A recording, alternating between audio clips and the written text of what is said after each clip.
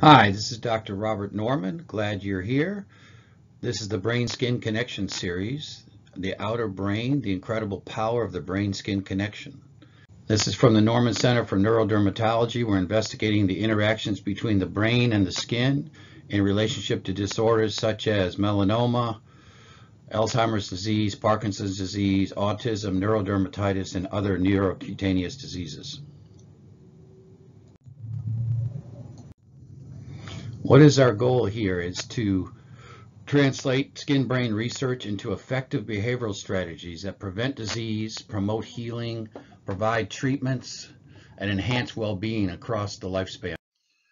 The five known senses, hearing, vision, taste, touch, and smell, each have their corresponding sensory organs, ears, eyes, taste buds, skin, and olfactory bulb, respectively.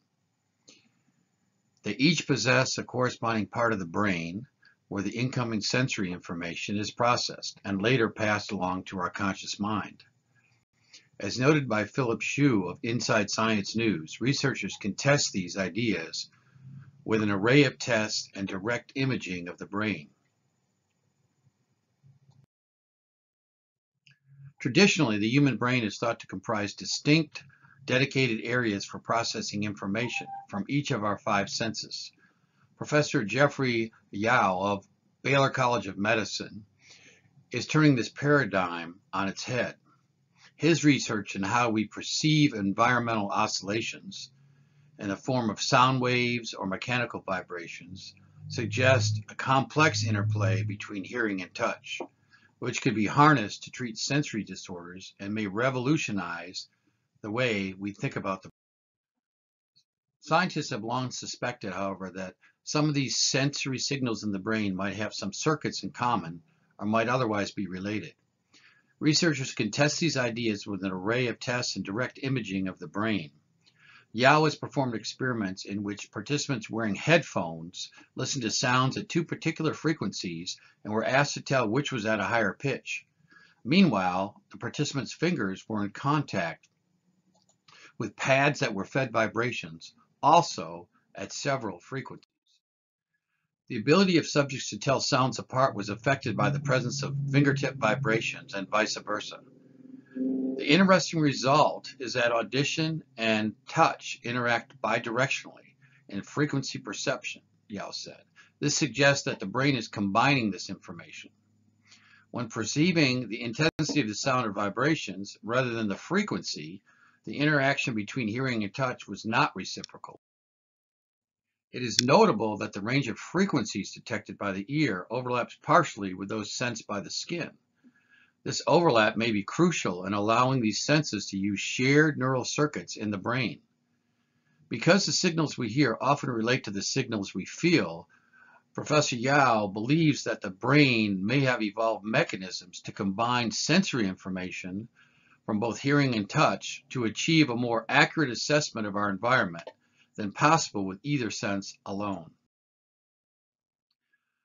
Yau uses multiple techniques, including behavioral studies, computational modeling, brain imaging, and non-invasive brain stimulation to explore the complex perceptual and neural interactions between hearing and touch.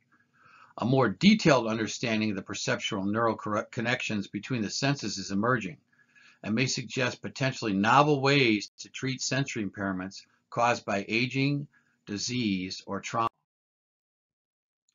Although other researchers have focused on how the brain region traditionally associated with sound processing, which is the auditory cortex, is affected by touch, Professor Yau has also focused on the impact of sounds upon brain regions traditionally associated with touch, which includes a region known as the somatosensory cortex. Using functional magnetic resonance imaging, fMRI, a non-invasive imaging method, method which indirectly measures brain activity by detecting changes in blood flow to different areas. Professor Yau has shown that simply listening to sounds produces pattern activity in the somatosensory cortex as well as the auditory cortex. So responses to both sound and touch were distributed across a number of brain regions, which he believes may be responsible for integrating the sensory cues received from more than one sense. Yau calls these regions supramodal, an important new concept in our representation of the workings of the brain. The supramodal paradigm of brain organization may apply to many types of information we experience through our senses. Rather than being initially processed in brain areas that are dedicated to individual senses, before being integrated in higher order parts of the brain, signals from multiple senses may be intertwined from the moment they enter the brain.